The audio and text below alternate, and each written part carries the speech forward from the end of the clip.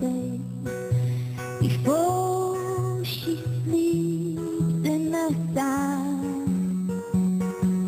Yes, and how many times must the cannonballs fly before they are forever banned?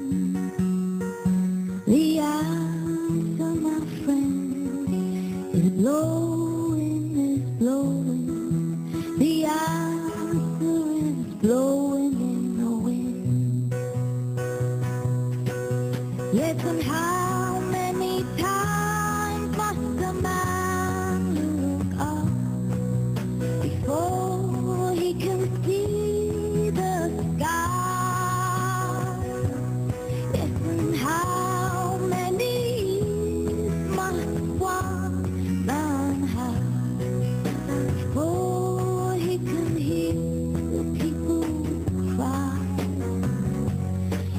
and how many will it take till that too many people have died?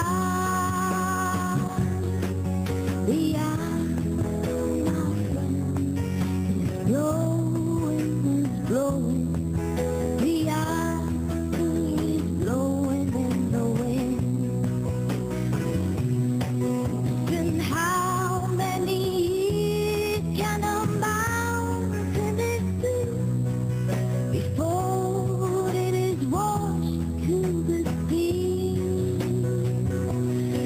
how many years can some